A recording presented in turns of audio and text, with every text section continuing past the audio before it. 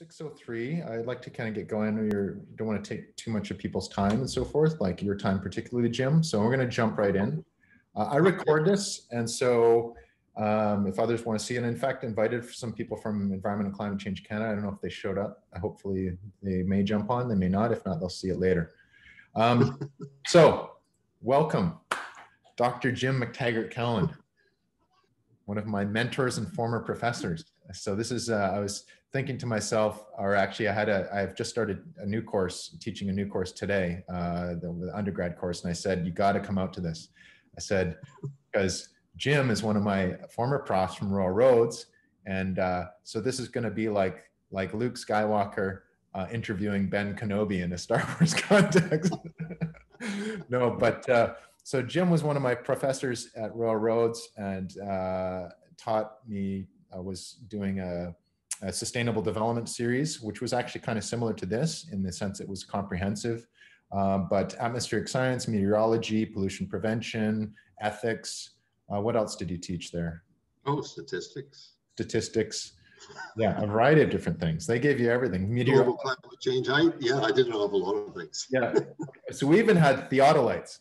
Like I don't know many places. What university in Canada? Like I guess the Met uh, like the the service the the university programs where you, you're teaching meteorology hopefully they they teach them how to use a theodolite. I'm not sure I suspect most of them don't. No? We literally had a theodolite like old school.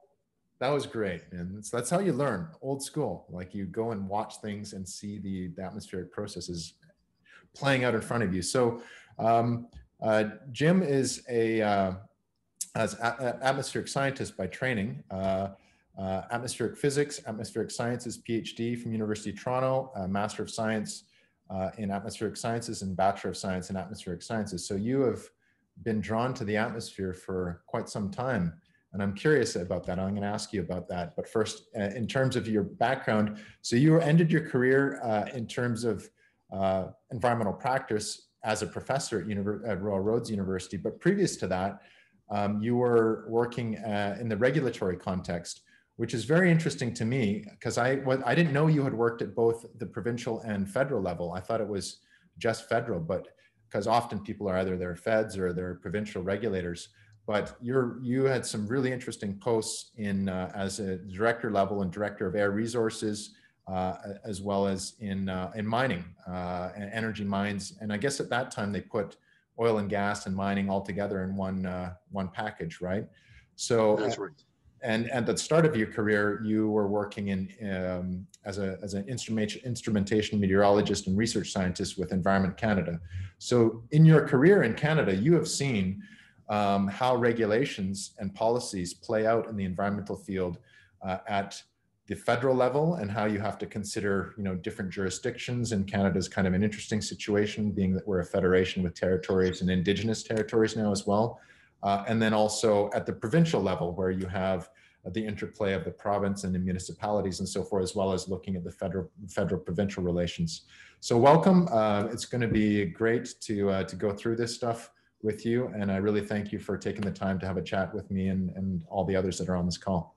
I look forward to it david so, I mean, the first question is that, that I have is, um, what what brought you to this field? Like you clearly were drawn to atmospheric science uh, at at least at, at, a university level, but perhaps even earlier.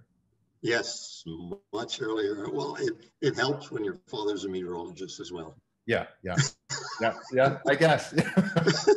and that's that would have to be the basic influence right there. Yeah but it's intergenerational now because you like well one yes. of your sons is a meteorologist and your other son's an engineer right but still working right. in environmental issues but more or less very definitely yes yeah. yes so it's been it's been a family trait for a long time yeah um, so when when you started to when you chose to set out at that time when you when you started your studies at that time i guess the environmental industry wasn't really much of an industry, was it? I mean, uh, even when I started, it wasn't much. It was kind of an industry, but it wasn't. There wasn't an environment industry. No, there really was wasn't an environmental industry in in the broad sense. There were lots of segments of of what ultimately became the environmental industry, but no, not at that time. Mm-hmm. It, I was I was in the well, I started off with with meteorology at University of Washington in Seattle, and and uh, did my bachelor's there. Yeah. You'll be interested to know that, in fact, at that time, one summer I was a summer student as a, as a technician, basically, mm-hmm. operating up in uh, uh, Point Bello, uh, sorry, uh, uh, northern tip of Alaska. And uh-huh. we were, in fact, measuring Point Barrow. And we were, in fact, I was in charge of uh, looking after the measurements of CO2 at that time. Okay. And we were actually measuring CO2 in the atmosphere. That was one of the two stations the US had, the one in Mauna Loa and the one in Point Barrow. What year was that? So in fact, this was in uh, 1966. My gosh. So you're like an you're an original gangster of the climate movement. Yeah, I'm an original gangster in this game, yes. long before, well, not long before, because in fact, uh, of course, the whole climate change issue com- comes from the 1800s. Yeah. 1896, the Savannah's uh, area, Arrhenius, sorry, I've got his name wrong there. Anyway, he basically on the back of an envelope calculated what would happen if CO2 went up in the atmosphere. Right. And he was remarkably accurate. Yeah, yeah. well, I mean, the, it's well, taken us since 1896 to start getting going on this issue. But it's not like so. What that's another good point is is you know what the leaky bucket the leaky bucket model. Have you ever heard of this? The did you ever I, you didn't teach it to me. It was ian strachan at mcgill that used that in his climatology course the leaky bucket model. So it's a great metaphor for climate change because it basically here's the bucket and then you have water coming in and you have yes. leak in it right? Yep. right? And so this is the energy balance of the earth. And i use this all the time for bankers because it's a climate change climate change look. It all boils down to a leaky bucket. We have a hole here which is the atmospheric window which is the leak in the bucket right? Right.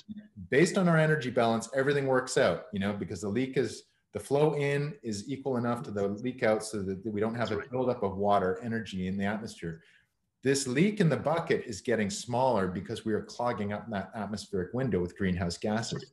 And what happens when that when, when that occurs? You get this buildup of water. So they get it right away when I use that. Like, oh, okay, I see. It's a leaky bucket. Yeah, but that's a good way to look at it. Yeah, yeah it's it's actually an effective metaphor. So but in terms of your stuff like in your career i mean you are drawn to government applications uh, and dealing with um, with policy and regulations and instrumentation yes. and measurement pretty much right away. Yes. Why is that? Yeah. uh, well meteorology at that time was pretty well a federal issue. So yeah that was a natural place to start. And once I got into the meteorology uh, and got into the instrumentation and everything, I got to know a number of the people who were involved in the sort of the po- science policy side. And yeah. I got quite interested in that because I really wanted to try and create change. Yeah. More change than than was occurring at the time, and certainly more change than I could do when I was developing an instrument for Mirabel Airport. You know, mm-hmm. that was that was something, but it wasn't really making change. So I moved uh, when they moved the meteorological uh, headquarters. Sorry, the assistant deputy minister moved from Toronto to to Ottawa, his mm-hmm. office. I was invited to go in there as as one of the science coordinators, and mm-hmm. then got involved quite heavily with the Ottawa scene mm-hmm. and the changes that were occurring there and, and the start of the realization that environment was an issue. But that would have been a really interesting time. That would have been in the late 60s into the 70s, right? Around That's that right. So, yeah. so, so for those like the, we've got 30 people on this call. For that time, for anybody who's done any kind of history of environmental assessment, was a critical time because the 1969 was Rachel Carson's book, Silent Spring. Uh, the start of the environmental assessment process was early 70s, 73, 74, EARP and, and the National Environmental Policy Act in the United States. So all of the environmental policies were really starting in that era. You were in the middle of everything, right? In fact, I was involved with the initial establishment of the environmental assessment process in Canada.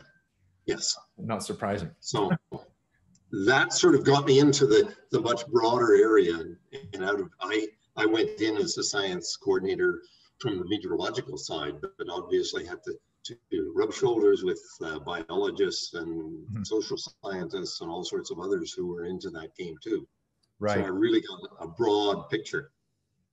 And So in that uh, sense- that, I basically moved into even a broader area when I was uh, involved with the, the whole area of research.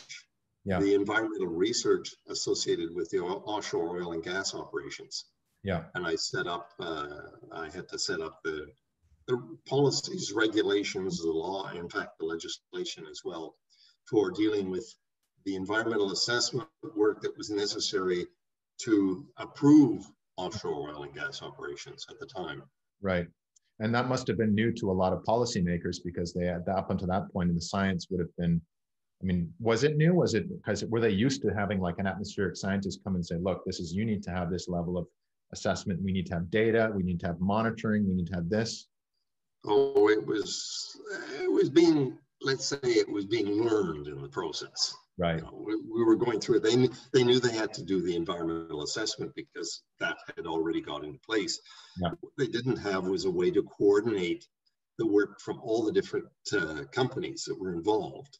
Yeah. So what they did was they leaned on the federal government to set up a body that would then take, get the money and get the research done that that they could all benefit from. And that sort of relates to that issue you wanted to talk about, which is how does industry get involved? Yes. The key was that instead of having one company, each company doing it individually, and the Mhm. problems that are associated with that, and the competition that would get in and the waste of money that would occur. Mhm. What we did was we set up a process where there was one group, the, there was one group, which was the Environmental Studies Revolving Fund Mhm.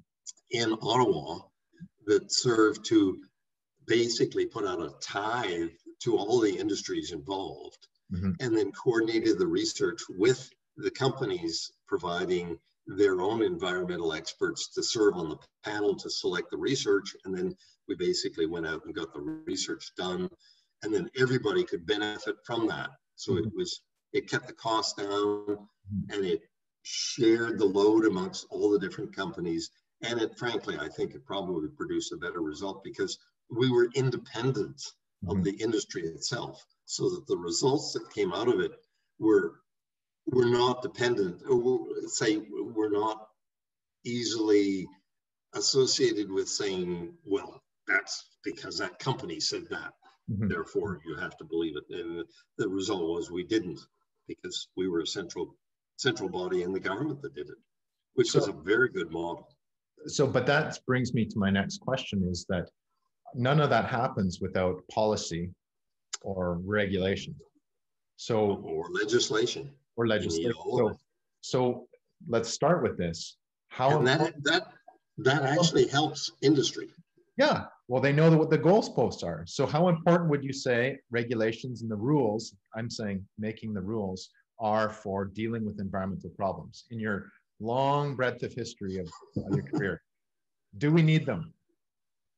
Absolutely, because it, it is the, well, let's say it's the role of government to give a direction to everybody.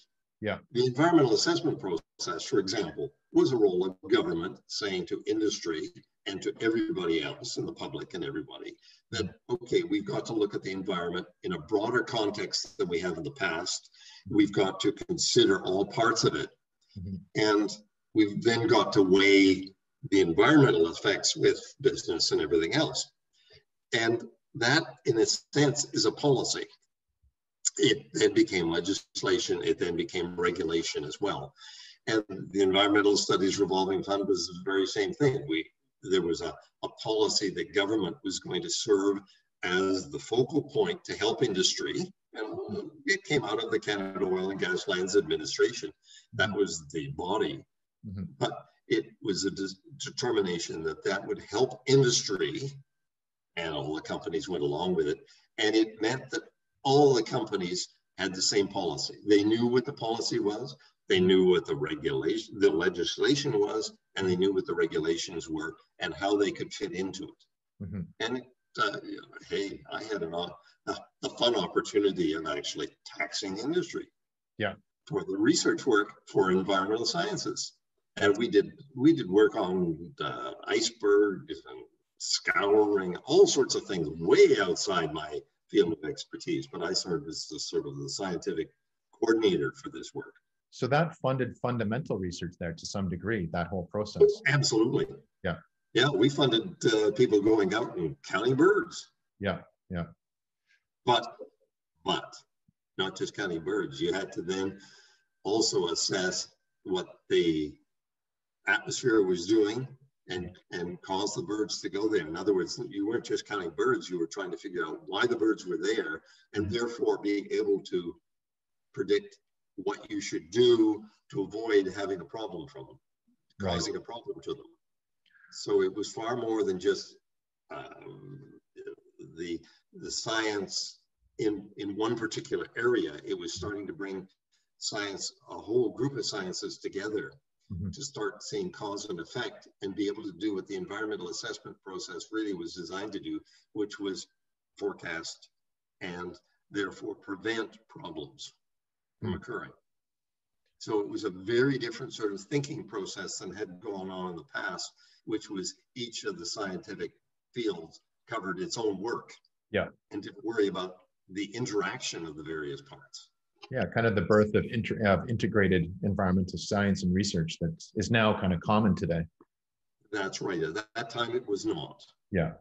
yeah well, because I, I can remember talking to some of the biologists who, who'd been out and counted birds for 30 years. And I said, why the birds are there?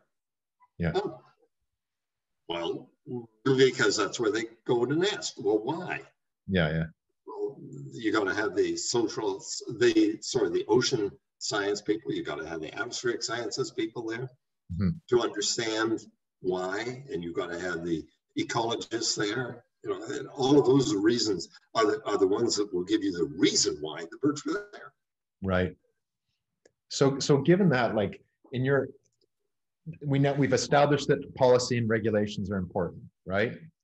Absolutely yeah. fundamental. So, given in your career, then, um, what are some of the major environmental issues that came up? I, I, I, can think of a couple off the top of my head, but I want you to pick like the, the top ones and how were they, how were they, uh, what were some of the key ones you dealt with that came up and how were they dealt with from a reg, like what was the regulatory response? You know, remember the ozone layer, acid rain, what are some ones that you saw successfully tackled through regulations and policy? Okay, let's start with the acid rain one because it's fascinating in, in the sense that it wasn't just the environment that, that caused us to really get to, to deal with that one. It was also the health issues. So it was important to recognize that environment includes health. Mm-hmm. And if you looked at Sudbury and the problems that they were having and the deforestation that was going on, I mean, nothing grew in some of those areas. Mm-hmm. And you were able to monitor, for instance, the flow of the stack from, from Sudbury all the way over the Great Lakes from the satellites, the weather satellites, because show you these big plumes. You had the the work that was done in the in the uh, in the northern lakes, which was tremendously important in understanding the impact on the fish. You had the health issues that were associated with it, which were showing up in the health records. Mm-hmm. So you had something that was really getting to people's attention. Mm-hmm. And then you had the international issue as well, because the Americans were getting annoyed about the, the pollution that was coming from Canada into the US. Right. And Canada was getting annoyed about the pollution that was coming into Canada from the US. From the US. So it was both ways. Mm-hmm. And it, it, then it was a joint policy initiative from provinces, a number of provinces and the federal governments, both of them. Mm-hmm. You had the science supporting that from a number of different uh, uh, fields of science. Mm-hmm. And basically, they set up targets and they went at it. Mm-hmm. And you brought in regulations, you brought in the legislation and regulations to reduce it, and it was successful. Right. And you got industry on side because they clearly understood what they had to achieve. Yeah. Because you set up a policy and followed it and stayed with it. Mm. That was the key of the whole thing. The CFC issue was actually quite a different one. And there's a lot of myth and, and stories around the wonderful work that was done.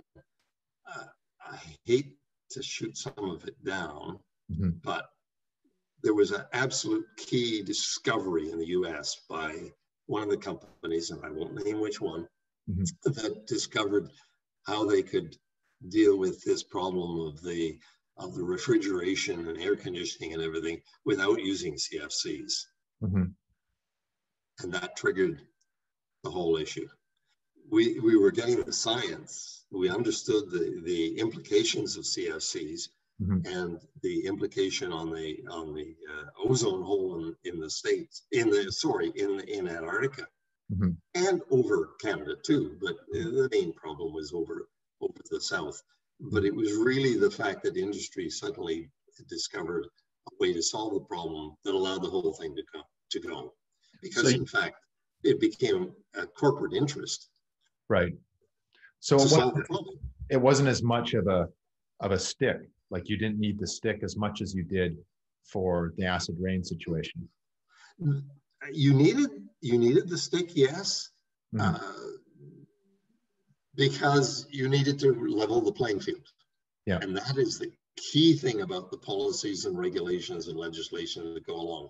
You've got to make sure that the playing field is level for all the companies and all the groups who are dealing with the issue. Mm-hmm.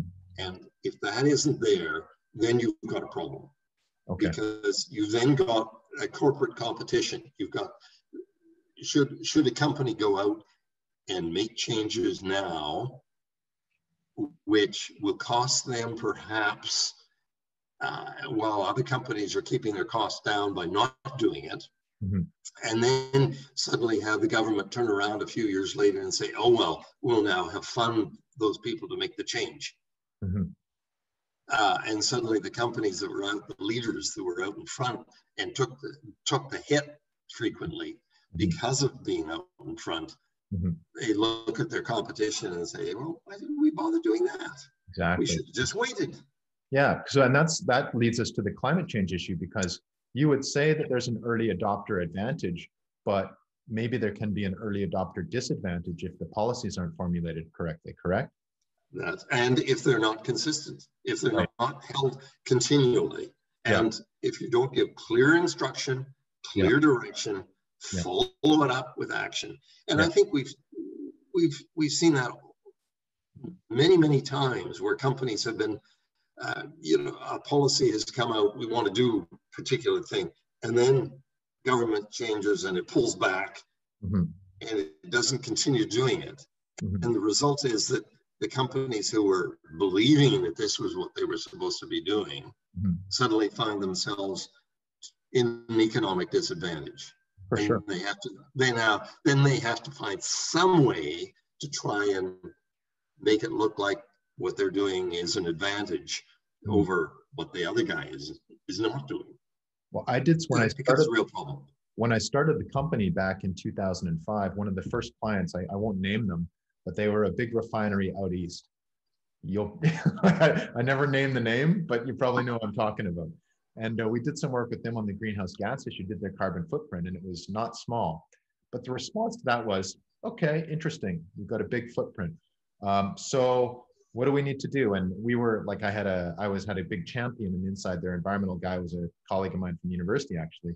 And he was really keen to like, like, let's come up with like a renewable strategy. And this is back in 2008, nine. And, uh, and they're like, well, we're not regulated. We don't know we're going to be regulated. Harper's plan was tabled at that point in time, but wasn't kind of finalized. So they said, good to know, move forward. Until we're regulated, until we know we're going to have consistent regulations imposed on us, we're not going to put the effort in to or commitment to make the changes to whatever reduce whatever it would be if it's CCS or any anything like that. Well, I think we have a perfect example of that in the auto industry. Yeah. Because each time the government in, in, the US and Canada, or Canada and the U, whichever one goes first, has come out with uh, targets for pollution from their vehicles, yeah. industry, of course, squawks tremendously and says they can't do it simply because they haven't put their minds to it yet. But we have efficiency gains when the government is consistent and says, okay, in the year X, we have to have, we have to be 20% better than we were in year Y. Mm-hmm. The problem comes then when the next government comes in and suddenly backs off on that, and industry then suddenly stops, or some some companies, many of the companies will. Yeah, they'll stop the research And I think we, we saw that with the EV1, uh, the famous yeah. General Motors uh, electric vehicle. The minute the government's backed off on their, their electric vehicle uh, standard, then the EV1 was basically taken out of the market. what year was that? What year was that? EV1. I, I'm sorry about that. I, uh, I've forgotten which year it was, but what, it was like the 80s. Was it like a? But it was a, it was a long time before what we're currently seeing with EV technology. Oh yes, oh yes. The EV1 yeah. was was a, a, brilliant electric vehicle. Yeah. It was in the 90s. 90s. point. Yeah, uh, but again, if if it, as is happening now, industry is starting to get the picture and they're starting to look at the whole business of electrification of vehicles and everything. But as long as government keeps requiring them to either be more efficient or get more electric vehicles out, then we'll keep progressing a change. Mm-hmm. But if they don't, then it'll slide back again. So the lessons learned are then I could say, if I were to summarize the key, the important learnings from that are consistency and clarity in terms of the regulatory frameworks that are put forward. Industry, and, go ahead. Yes, I was going to say it has to be very clear. Everybody has to understand what it is. Yeah. And everybody has to be held accountable for it. You know, in, in the sense of each in the in the sense of each of the sectors when you're doing it. For instance, buildings are way down the list that you often see uh, for global climate change issues. Right. And yet, buildings are going to be with us for 50 to 80 years, probably. Right. They should be, we should be worried about them right now. We should be looking at standards which are way beyond what came out in the, uh, the R2000 scheme and yet there are homes being built in, in British Columbia that don't even meet the R2000 standards now. Hmm. Okay. You know, so what are we dealing with? We're going to have these houses around for 50 years. They're yeah. going to use up energy. Yeah. They're they could so easily be built to a much higher standard than they are currently, mm-hmm. but no one's bothering to push it. Yeah. So it, it becomes a problem. And you've got to have your policy has you have to be consistent with your policy and you have to get on with the with the job by getting your regulations and your sorry your legislation and your regulations and follow up you have to monitor mm-hmm. and you've got to take action when people don't do it all yeah. of that part is part of it mm-hmm. communication is not getting us anywhere look we've been going at this issue since 1988 Mm-hmm. Okay, when you start with the, the, the, climate change conference in Toronto, mm-hmm. where or, uh, changing atmosphere, I think is what it was called. Mm-hmm. But that that then formed the IPCC, which started in, in the fall of 1988. 1990 mm-hmm. was the first IPCC report. We've had them every five years since then. Mm-hmm. Where are we? Well, you look back at some of the reports that came out in 1990, 1995. You look at the provincial ones, you look at the federal ones. There were lots of good plans in there. Mm-hmm. And people have been creating more plans and creating more plans and yeah. creating more plans. Yeah. And yet we're not dealing with the issue really in a, in a broad sense because we're not being consistent. We're not setting out a policy and then following it and then monitoring it and making sure that everybody does it. You know, it's, it's simple. We're, what are we doing? We're communicating. Yeah. Well, I'm sorry. 1988 is a few years ago. Mm-hmm. And we've been communicating on that issue ever since. There's not an awful lot of people who haven't heard about global climate change. Yes. And there's not an awful lot of people who don't know that there are things that can be done. Now, there are people who still want to deny it. Mm-hmm. Uh, there are people who still want flat Earth society. There are people who still don't believe in, in evolution. Mm-hmm. You're not going to change those people. Yeah. Education isn't going to get us there anywhere. Yeah. It never has. It yeah. helps. It helps a politician to feel that they're doing something. Yeah. But is it really doing anything? No, certainly not after this many years of trying to do education mm-hmm. build a little bit into the schools. Heavens, if you build it into the schools in 1990, mm-hmm. you'd already have everybody educated practically. Well, in this course, the one one of the ones I'm teaching right now, the graduate course, we had our launch last. Uh, every unit is, has a, a launch, and it did last night. And its last unit, or second to last unit, is on communication. Communication is a large part of it. And I said, like, communication is important for sure.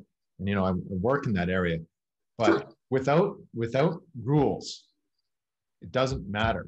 You can communicate all day. I gave the example of the work that that I when I started my career back in 2000 doing uh, the World Expo work, like designing pavilions for World Expo in Germany. Very progressive communications about all the technology and stuff. Now, was I expecting everybody that went to that pavilion to walk away and go like become energy efficient and you know change their life? No, they're probably like they could just go jump in their SUV or whatever and go home. Like that's not going to change their behavior necessarily, right? Um, that's right. And nor is it going to to change a society's behavior. This is where the role of like of regulations and sticks and carrots come into play. Well, and this is this is where the policy becomes so important. One of the things that is going on right now is this whole issue of, of uh, carbon tax. Yes. Okay. We had a, a sort of similar tax, shall we say, the sustainability tax that came into BC in the early 1990s. Mm-hmm. And the concept was that uh, that uh, you would basically assist industry by, but the sustainability tax would come into government and then would get spent by the Ministry of Environment for the purpose of decreasing the impact on, on the environment of human activity. Yeah. Well, it suffered the same problem of all taxes after about a year or two of the sustainability fund getting the money directly, mm-hmm. the Minister of Finance turned around and said, Oh, well, environment's getting this money from sustainability, so we can cut its budget by the same amount. Mm. Okay. Mm-hmm. So suddenly you reduced the money that was coming in for the purpose of creating change in the environment. Mm-hmm. And it's become just part of the total tax collection mm-hmm. of the government. Mm-hmm.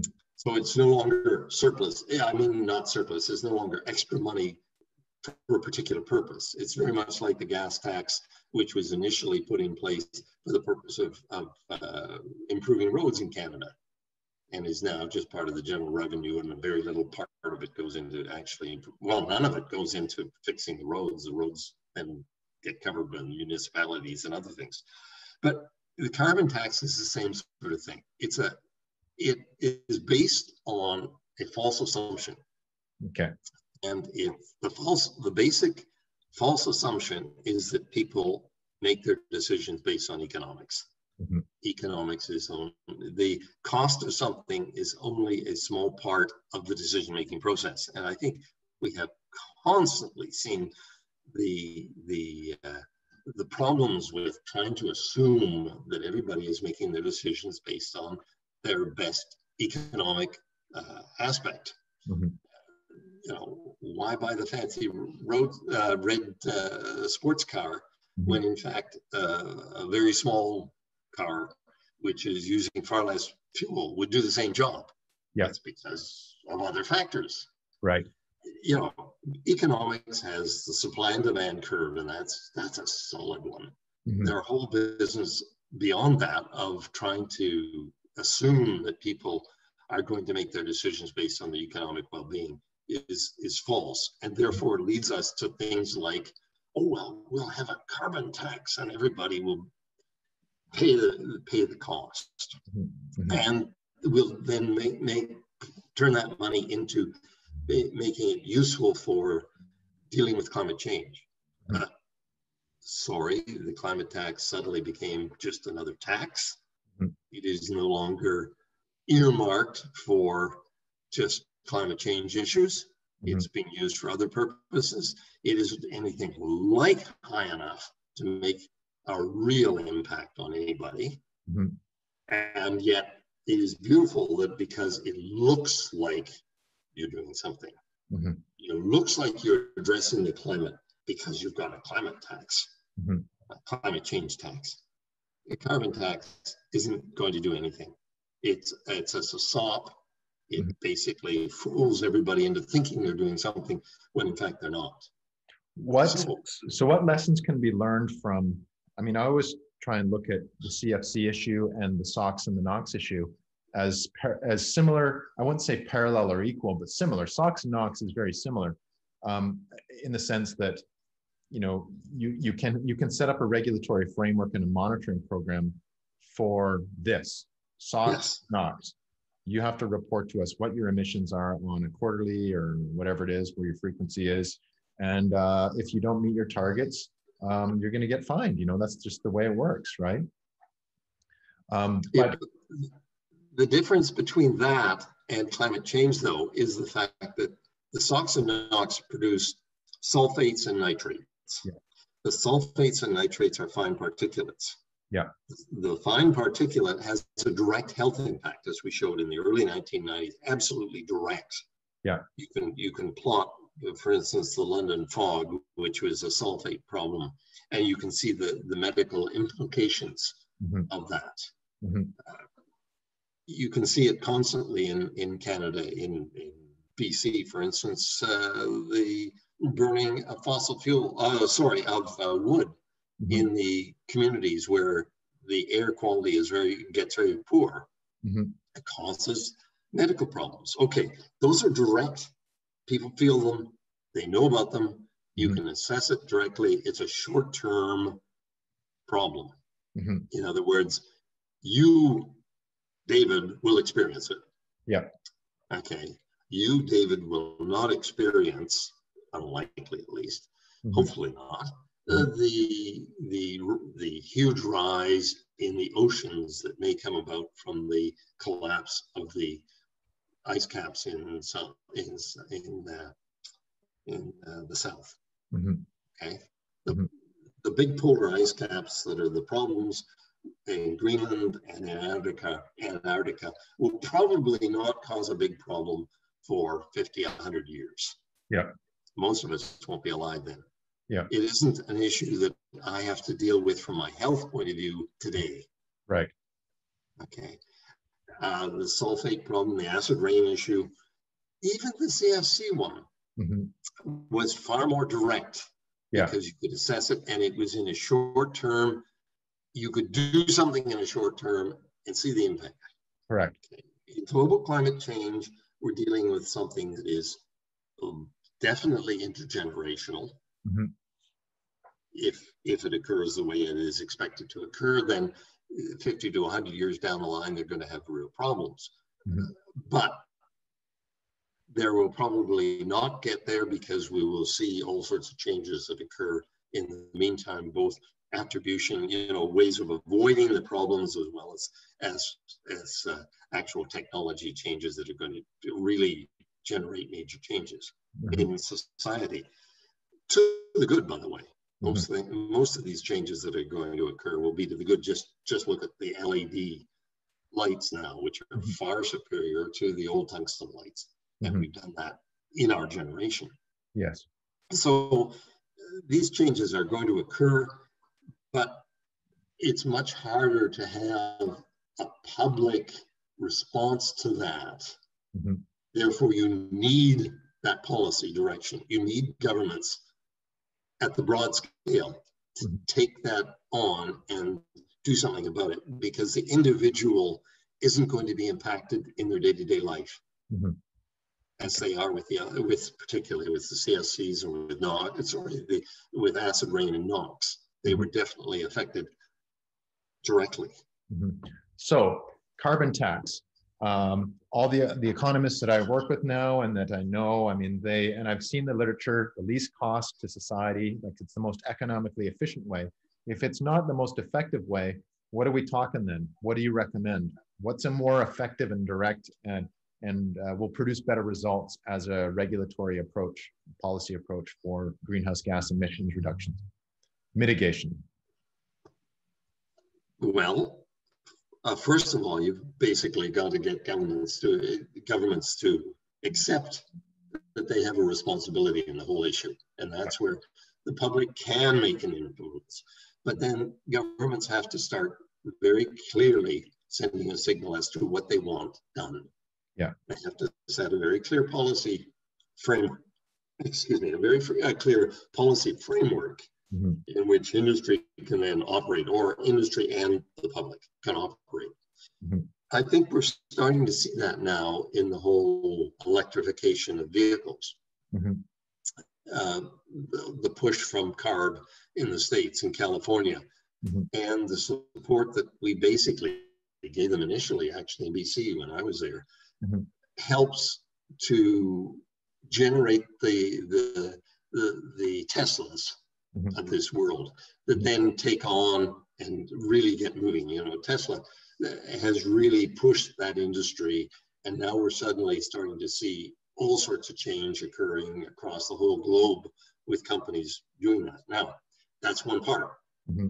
But you see, government has to be doing far more than just the electrification, which is which is CARB's push.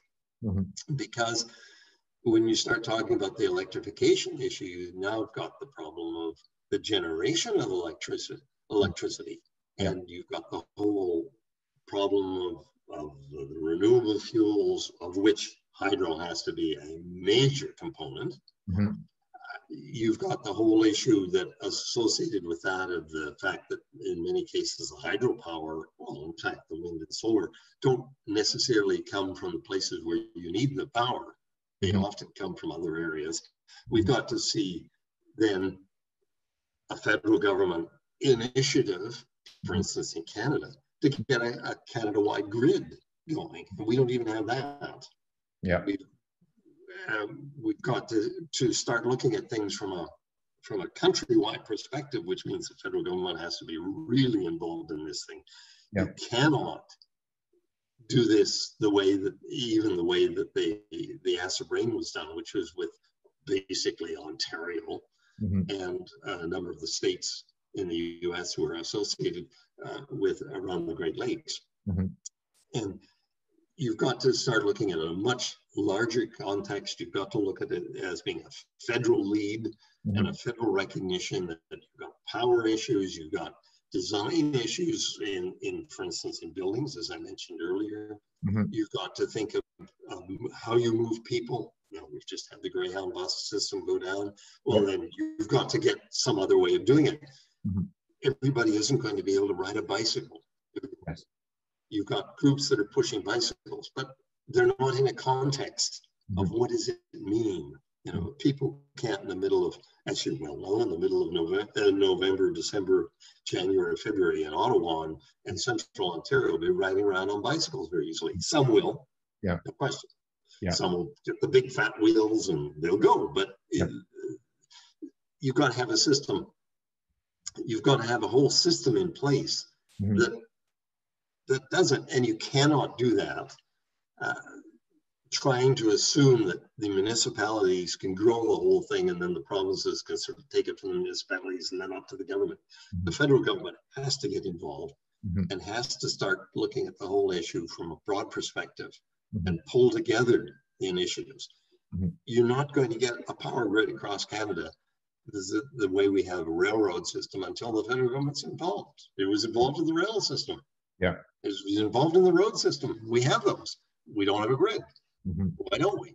Once we've got a grid, we don't even have the, the capacity yet to do all the storage that's necessary to move the power from one time to another. We have groups out there fighting against windmills, against solar power, against hydropower, against geothermal power, all of them claiming they're environmentalists, but yeah. they're not looking at the realities mm-hmm. of the issue. And new, and again, nuclear. You need the broad context. And don't forget mm-hmm. nuclear. Well, the nuclear it plays a very, very important role, and I was involved actually with the with a task force that was looking at the whole issue of radioactive waste from uh, low-level sources, which includes hospitals, by the way. Yeah.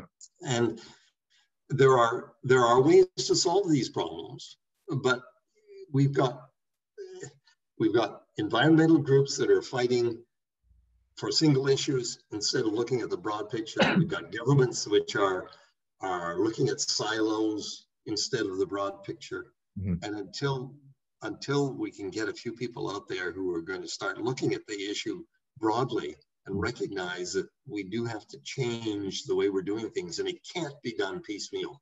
It has to be done on a broad scale.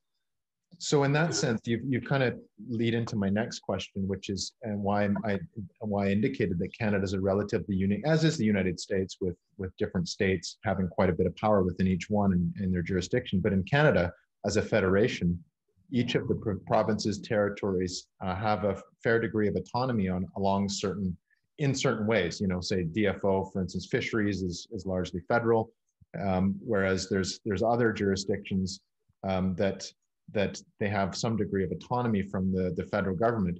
So how do we how do we reconcile that? Like say for instance, you know, Alberta is always saying like, look, give us the targets for greenhouse gas emissions reductions, and we will find our way to to meet those targets. Like give us the targets, and we will go and we'll do it, whether it's using carbon capture and storage or or whatever, you know, whatever it is. So the, my question is, how do we deal with? And this has been an issue for a long time: harmonization, uh, uh, and the balance between this kind of the open federalism model, which I think Harper was more of a proponent of, like let the provinces do their thing, and then what we have now, which is, uh, well, at least what they seem to say a lot, which is the, the like the, the federal government kind of over imposing things. How, what's the balance, and how do we how do we get this system to work better? We're back to the whole issue of policy, aren't we? We are. I know, but I'm asking. The whole issue goes back to the, the you know, what is wrong with a company responding in a different way, one, one, one company versus another. There isn't any reason, provided they have a common objective, what right. they're getting at. Yeah. And okay, if if if you don't have a clear policy, if you don't have a clear objective, and if you don't monitor and uh, appropriate uh, penalties if if people don't do meet their requirements, then you've got a problem.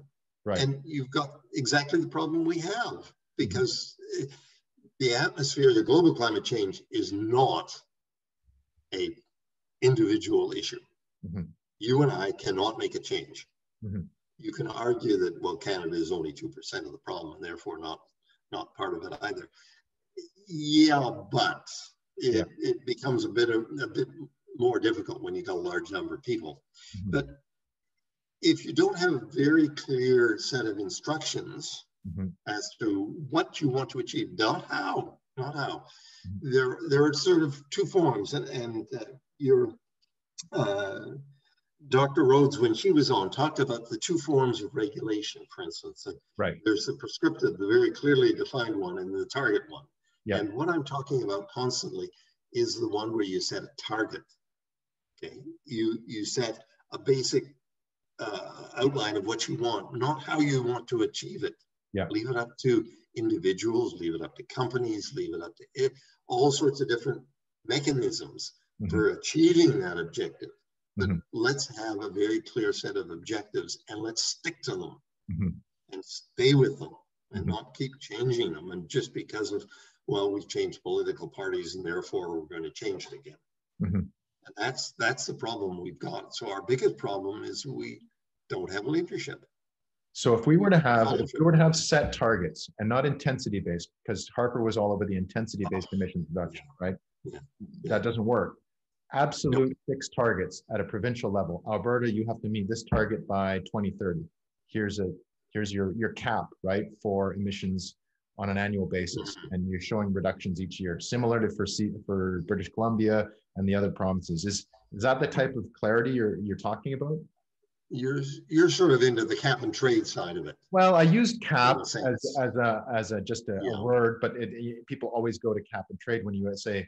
But I'm talking about a clear target. Like you, we need yes. to have these emissions reductions targets met by this time period, time bounded targets. That would probably yes, that would probably get you get you underway. Mm-hmm. You have to give more support, I think, to industry than that, mm-hmm. in the sense that you need to also help them to understand what it is you're trying to achieve and how and how they might do it. Okay. For instance, back in the yeah, back in the 80s, there was a group called CIPEC in the in the uh, Energy Mines and Petroleum Resources, which which was a an association of industry and government focused on trying to encourage energy efficiency and help companies find ways of, of achieving their objectives. Mm-hmm. And the federal government actually, in its research work, was helping to fund studies that would then help industries to achieve higher efficiency. Mm-hmm. It was up to the individual companies, of course, to actually uh, implement the research and implement the, the changes that were needed. But the government was there, it set targets for efficiency, and it carried out research to help people know how to achieve it. Mm-hmm. If they if they would go ahead. Now it didn't have all the solutions clearly, but it did fund that, and that's part of what government needs to do. So it so it's one thing to set the target, mm-hmm. but it has to be out there assisting mm-hmm. the various groups to achieve that objective. Right. So it, it has research it needs to do, and it's research. It's it's it's uh, fundamental research, and it's also applied research. But it needs to use its research powers. It also needs to do something else, which is absolutely fundamental, mm-hmm. and which Dr. Rhodes did not touch on, and mm-hmm. that's its purchasing policy.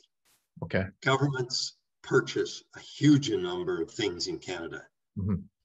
It is not currently using its purchasing power to help with global, global climate change issues. Okay. And yet it needs to. Industries in Canada had developed approaches.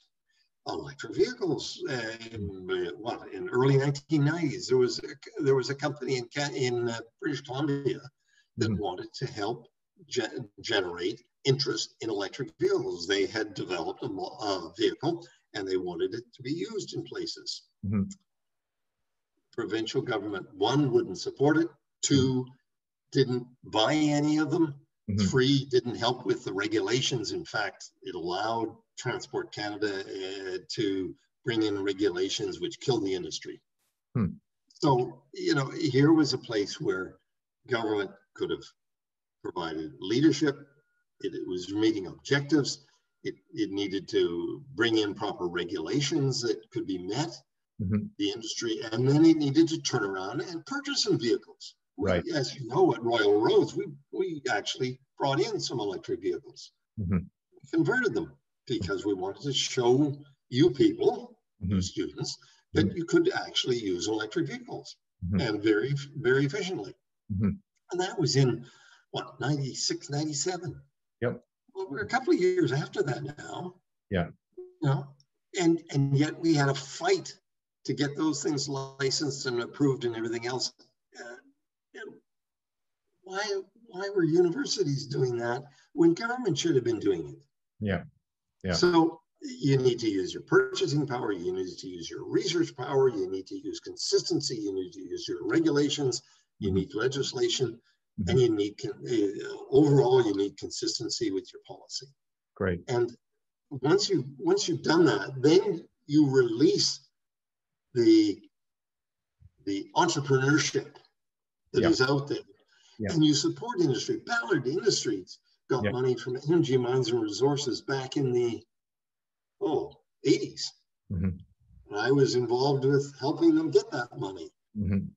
Where is Ballard now? You know, they're not they have been they they wanted to electrify with Ballard fuel cells the transit system in British Columbia. Mm-hmm provincial government didn't support it. Mm-hmm. They actually had buses on the, on the road that were running on Ballard fuel cells. Mm-hmm. Well, where was the federal government to, where was the provincial government to support it? Mm-hmm. You know, mm-hmm. governments aren't supporting their own industries, in fact. Mm-hmm. And we look to the U.S. and we say, "Oh, well, the U.S. has uh, the industry doesn't need it." I'm sorry, industry in the U.S. gets a huge amount of money they mm. just get it from their defense funds. Mm-hmm. And it, it just appears in the research and in the entrepreneurship. You know, they'll, they'll buy 10,000 razor blades at a ridiculous price because they help an industry get started. Mm-hmm. Mm-hmm. use razor blades, obviously. It's a, that's a silly example. But I mean, sometimes we, we look at them and say, oh, you know, why did you pay $30 for something that you can buy for about 20 cents? Because now you can buy it for 20 cents. But at the time when it was initially out there, industry needed a sufficient number of orders to be able to develop the capability to produce them in right. mass numbers. So and we don't seem to have, we don't have a, we don't have the entrepreneurship support mm-hmm. that goes beyond research into into the demonstration and into the actual purchasing and we need those as well. Mm-hmm. create a market for those those early stage innovations. And you have to help industry prove it that mm-hmm. they, they actually work but you have to support your industries to do that or any group frankly. Yeah so in terms of so we've we've kind of covered some some good ground here uh, and uh, but one of the key things is, and it, it does come back to to what you have done here is communicate your experience with um, various issues and the successes and failures. So I know we've said that communication doesn't matter, but it does kind of matter because, in some sense, because if we don't know that, like, uh, a, that a government that we elect should be making these kind of decisions and these kind of policies, you see what I'm saying? Like, there is yes. a role of communication there of making sure the public is aware of like what is something that's actually legitimately going to help us with this problem yes so what's your take uh, on that like on on strategic communication on the part to to mobilize these kind of changes oh boy that's a that's a big issue because yeah. when i was thinking of communication i was really thinking of trying to prove once again that climate change is an issue and I don't think we need to spend our our dollars on that. No, I think people get it. People get that. I yeah. think I'm pretty sure yeah. that even the even the most conservative people I know, uh, at, at the very least, they consider it uh, a, a business risk if they don't address it. You know. That's right. Yeah. yeah. So what we the communication we've got to address really is the communication of how we get change, how we generate change in the whole process. Hundred percent. So there is a role of communication there, but it's a very very different communicate. I'm sorry. I've got a poodle that is suddenly arrived. Okay. Just so, wants to hear. So I've got, I'm going to open it up for questions because we're, we're pushing an hour here now. So I've got one, yeah. One Mirel, uh, similarly electric. So this is an interesting one. Actually, I saw a podcast a couple weeks on this from, uh, from a group in the United States. Mirel uh, said, similarly, electrification of aviation is not yet supported. What's your take on uh, aviation and electrification of aviation? Well, in fact, we have the attempts being made by Harbour Air here, don't we? Yeah. Already. So there, there are start. There's a start to it. Yeah. They probably need this government support, as I've yeah. said, for the demonstration. They're doing it all by themselves because they see a market a potential in here, mm-hmm. and uh, I'm I tip my hat to them. They're they're doing it. This is similar to what uh, Tesla has done with the electric vehicle yeah. they'll probably help to generate change. Right. Um, are we going to see electrification of large jets in the next little while? Probably not mm-hmm. because of the range problems and all that sort of thing. Mm-hmm. Are we going to start seeing changes in efficiency as we did with the motor vehicles? Probably yes. Yeah. But if you're going to lift people off the off the ground, you've got to put a fair amount of energy into it. The issue, of course, that comes with that is where does the energy come from that we need? Yeah, we need a lot more electrification.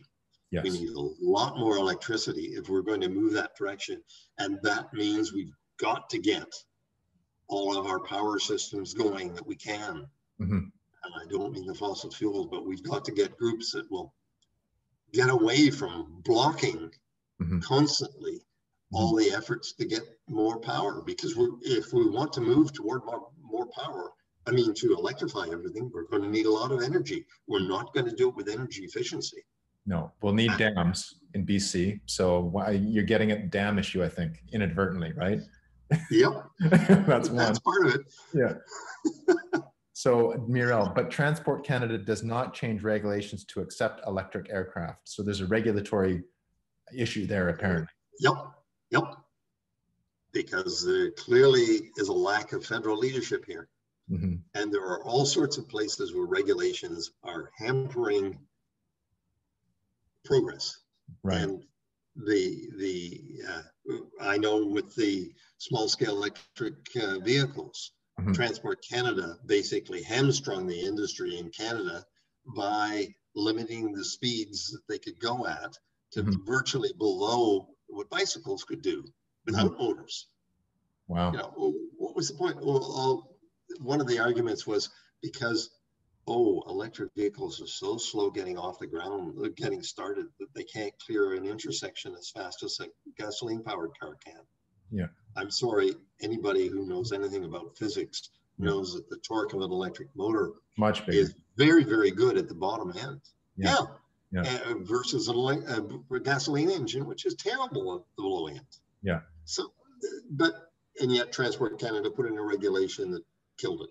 Hmm. And there is clearly a need to get to get uh, an awful lot of the regulatory hindrance that's out there mm-hmm. that is not being worked on uh, to solve the problem, but is really keeping them from being solved. So we had another the electric vehicle, the, the, electric plane problems that uh, that Harbour Air is having with federal government is just another example of it. But again, where's the federal leadership? Yeah. Where's the clear direction to all of the departments mm-hmm. and the federal government that we've got to look at things in a broader context? They should be getting behind that. They should get. I'm sorry. They should be getting behind that. They should be. They should be funding that. I would think. That's right. Yeah. Uh, Mary, um, uh, I believe that monitoring companies is the key. Uh, and this is in reference to greenhouse gas reductions. Uh, yes. Oh, I've got another good question here. Donna Miller, how do you transcend politi- policies when governments change power? This is the big one. So you get a change in power. We talked about this a lot. Governments are, are inward looking, right? You know, yep. their, their job is to get reelected to some degree. I mean, that's a big part of being a politician, right? That's right. Um, so how do you transcend that four year or, or shorter cycle that these parties have with these issues that clearly have the need for longer term solutions and policies that have a much larger, long, longer viewpoint. How do you do that? that one, we need statesmen. Yes. Yeah, that's a good. That's what we're missing. We're we've got fellowship as opposed to leadership. Yeah. And as long as we, as long as we keep electing people who are follows followers, yeah, who who want to get elected by popularity in the sense of not what they're doing, but because well, we'll give you something extra if you vote for us, or oh, you don't like that, so we won't support that. You know, yep. as long as we have that, we're not going to go anywhere. And we need statesmen. We need people who are prepared to to go to the to the uh, ballot box and say, "Hey, this is what I stand for. This is what I want to do." But right now, our political system is so controlled by one person mm-hmm. that it's a real difficulty if that person isn't a statesman. Yeah. Gilles Duceppe, I, I viewed as a, as a statesman. Different, different kind of objectives yes. for yes. Bloc Québécois, but honestly, I have a lot yep. of time for Gilles Duceppe. Uh, Jason, maybe it comes down to follow the money of what determines the decisions. Um, in what sense? Jason, expand on that maybe it comes down to following of what determines the decisions. Like are you saying give the proper motivation for people? Companies lobby. Okay so look at lobbying and seeing uh, and presumably subsidies as well. Um, go ahead jim. Take again, again uh, that's that's the reality of what we're dealing with now. Again if a statesman is out there if you've got real leadership then it will basically look at the industry lobby and you know deal with it appropriately. It's one of the decision factors that have to come into it. Any time a politician is going to ma- is making a decision, the lobbying is going to be part of that decision making process. We've got a couple interesting questions here that are related. So first, uh, Joanna, do you think there's a disconnect between the much needed top-down regulatory approach and the bottom-up education, communication, socio-cultural, behavioral change approach, meaning that you know the society the public right that's being governed needs to be aware of of what the issues are and i think we're aware on the climate change issue the public at least in canada for the most part i think has a has a good understanding of the issue whereas it, uh, the question here is is there a disconnect between um, this, as we've talked about, a regulatory approach that can help to address that and um, a kind of a more of a bottom-up approach. So we have a top-down, bottom-up processes, informed public and responsive government, bringing policies that meet the, the, the concerns of the public. I don't think you'll deal with the climate change issue bottom up. No. No. The, the only bottom up part is whether people are prepared to elect people who will actually get out there and, and bring in the policies because yeah. the individual can't do it. The individual, uh, the individual can do one, one or two things, yeah. small things. They can certainly buy an electric vehicle. They can make sure their house is heated in the most effective way. They can make sure their their insulation is the best, but that's not going to get us there. Yeah. You've got to have the industries, the associations, the larger groups involved and a common framework in which to work. It's a structural change. Bottom up what we're doing. Hmm? Structural, structural change does not come from bottom up mobilization. It, it can be encouraged. Like you can say, look, we need to do this, right? Because we've got you know thousands and millions of people in the street at climate yes. marches and so forth and so on. That's a signal to to the need for these kind of changes. But the big structural decisions and policies, like we're talking, like a national grid, for instance, or a national energy strategy, I mean, that doesn't come from, that comes from a government. That's right. Yeah. Yep, government has to do it. It can't, individuals are never going to solve this problem. With all the best interests and all the best intent, it doesn't, the only thing you can do is is try to encourage the politicians to do something and, and set the policy and direction and then follow up on it and hold them accountable. We got another interesting question here from Caitlin. Yes, and how can governments become more agile in adapting legislation regulations to address emerging issues? The process seems onerous. Now, this is an interesting one because like from an adaptation standpoint, like when we look at mitigation, sure, we need to reduce greenhouse gas emissions. From an adaptation standpoint, look at the impact, look at what's happening in Manitoba and Saskatchewan with the, like we're gonna likely have droughts coming this growing season, right? This is, this is part of the adaptation side of climate change which is you know it's there's a lot of uncertainty in in forest fires and the, the biological response to all these kind of issues the arctic issues so i mean the school of adaptive management and these kind of adaptive governments is predicated on the fact that you can change you can course correct so the question that caitlin poses which is a good question is how can governments become more agile in terms of adapting or or changing legislation or or coming up with new legislation Mm, how could governments become more agile? Wow. Yeah. Again, if we look back at how what we did in the 70s with the environmental assessment process, mm-hmm.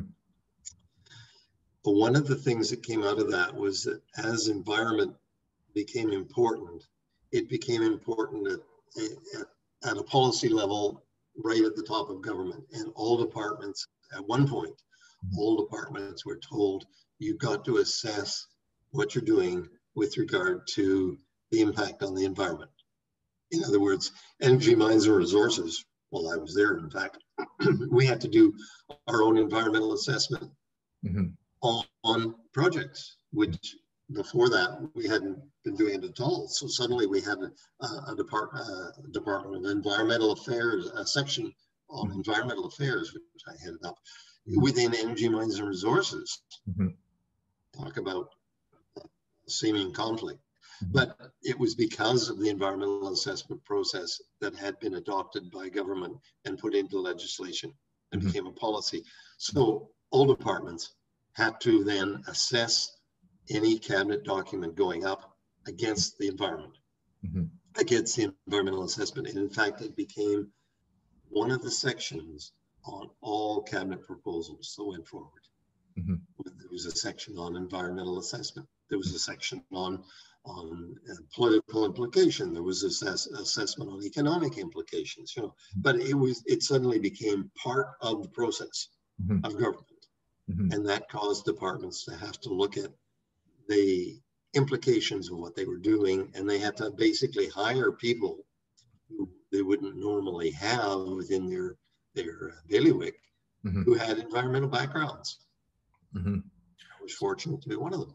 But that was because the government had made a commitment that it was going to actually do something mm-hmm. with regard to the environment. And then once you had that, and once you had a requirement that a cabinet document going forward for every consideration of cabinet, you mm-hmm. have a cabinet document going forward by some department, mm-hmm. it had to have a section which mm-hmm. talked about environmental assessment.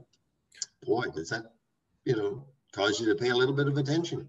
So you could do the same thing for climate change. Really, you could have a yep. mandated everything to be climate risk, climate screened, yep. or what have you.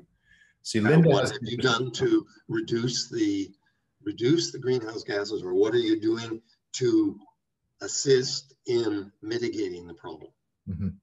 Linda's got an interesting point here in the sense that so some people say, well, legislation is legislation. You can't like there's only so government can only be so agile. But Linda it's a really interesting point is this past year, governments have been agile with COVID, regardless of whether we agree with the response overall we have been, I mean, this has been an issue that they've had to respond to and actually kind of pivot regularly based on, you know, sometimes based on whimsy, it seems, but sometimes based on new findings about, say, the variants or with uh, the efficacy of various vaccines. And mm-hmm. this is constant kind of updating based on the best available information. So, arguably, you could say the same thing could happen with uh, environmental issues in general, because by their nature, and COVID, you could put in the environmental category. Like it, an environmental health issue uh, has caused us to be have this kind of like cyclical governance process.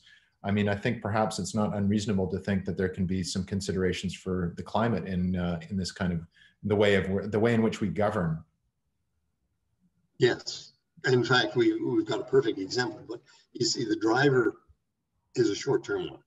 Yeah. And that makes it an awful lot easier uh, for government to respond because yeah. it directly impacts me. It directly impacts you right yeah. now. Yeah. And therefore, I'm willing to give up some of my personal freedoms. Yeah. Because there's a direct implication. And people aren't even reluctant to do that. Yeah, well, yes. look at English Bay.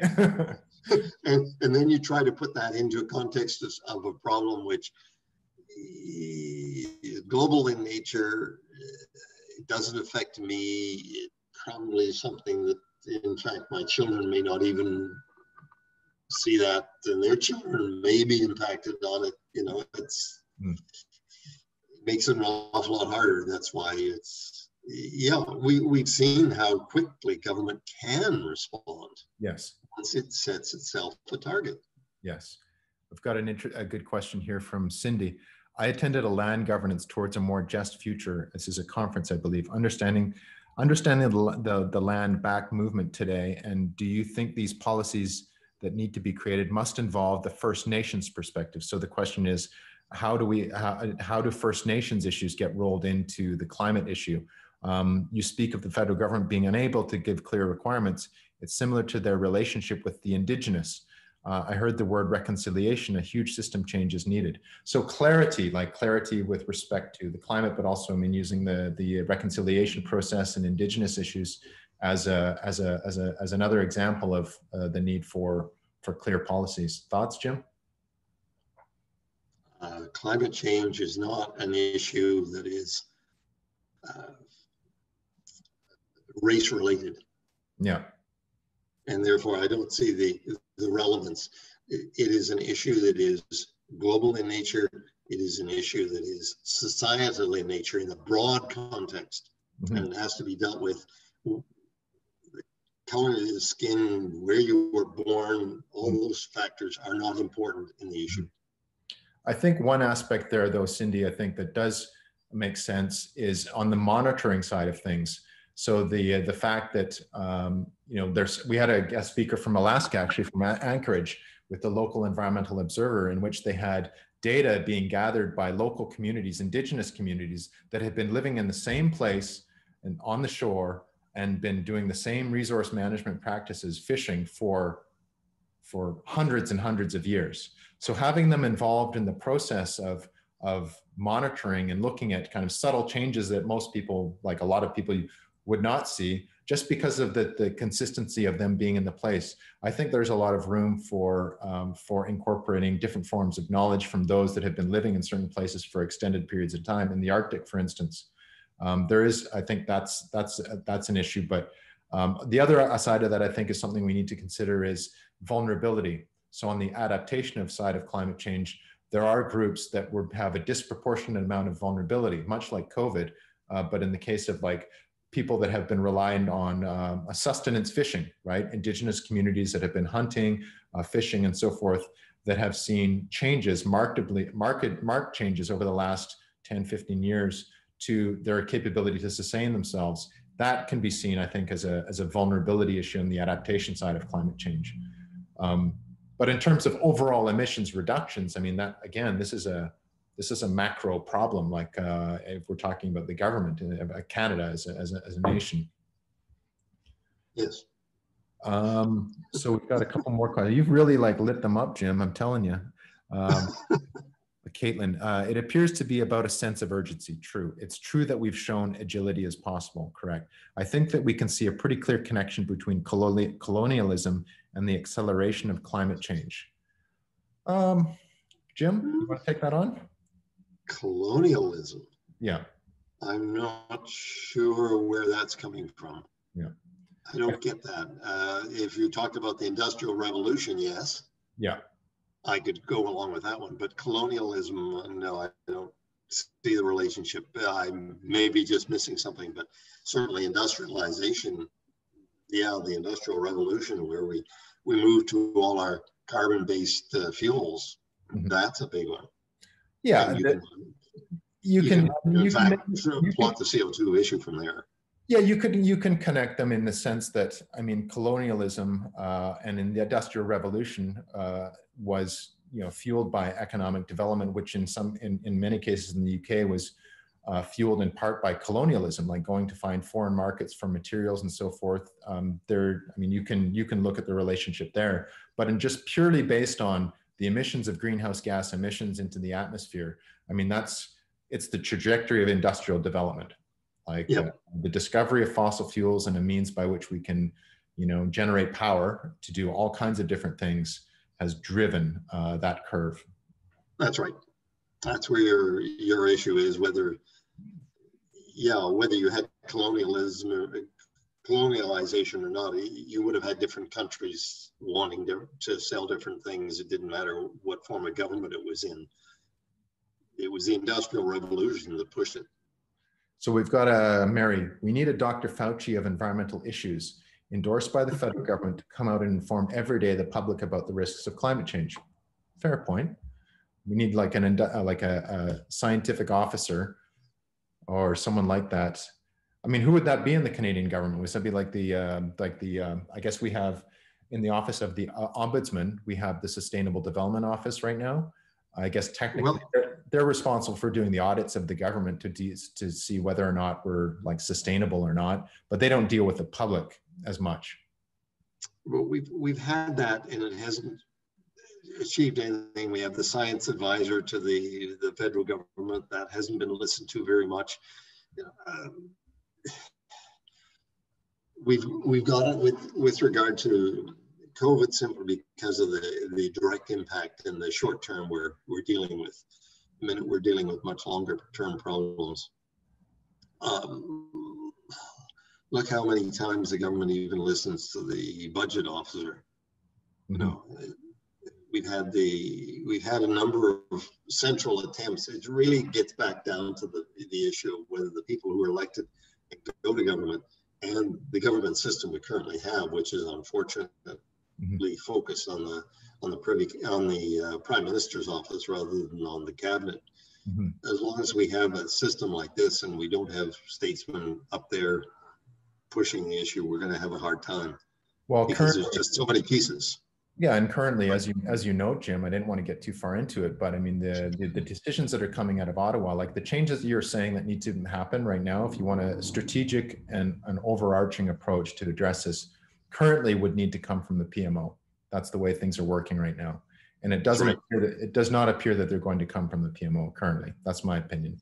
You don't have people who have you know, have a lot of young people who are interested in politics and uh, you don't have any statespeople in the uh, statesmen in the whole thing. Yeah. And it's not going to come out of the PMO now. No.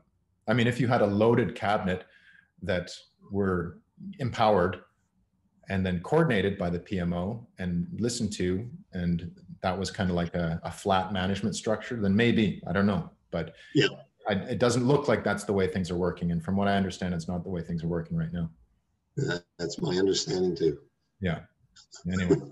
and that's why we probably had the, the best environmental regulations coming out of a progressive conservative government, not out of a liberal government.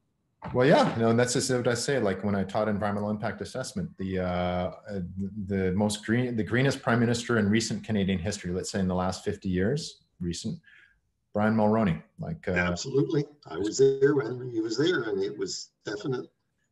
Uh, when you get the leadership, it happens. Yeah, and not exactly the guy that you want to go and uh, you know, I mean, uh, was disliked by many people, uh, but you know, you don't always have to be liked to get the job done. I think.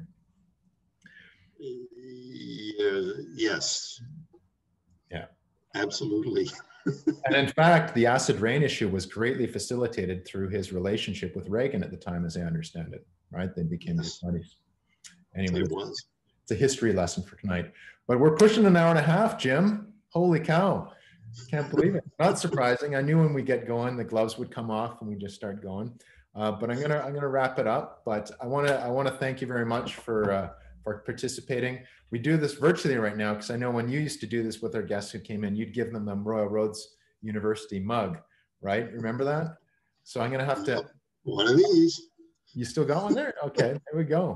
Um, I'll, I'll, have to get you some. I got you lunch next time you're in the same place and we're over this COVID stuff. How about that? Deal?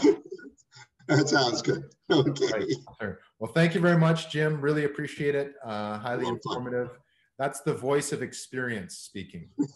Um, and then, then this is something we need to listen to. Um, everybody, thank you very much for coming out. For those that didn't make it, um, uh, spread the word. They'll be able to see it on YouTube and I'll get it up tomorrow. Okay. Uh, thanks a lot, Jim. We'll be in touch soon. Okay. Take care.